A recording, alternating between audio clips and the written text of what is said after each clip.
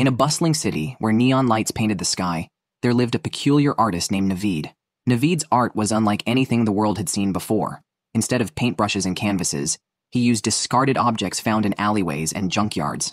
His sculptures and installations were a chaotic fusion of metal, glass, and wire, each piece telling a story of its own. But Naveed's most prized possession was a rusty old bike he found abandoned in an alley.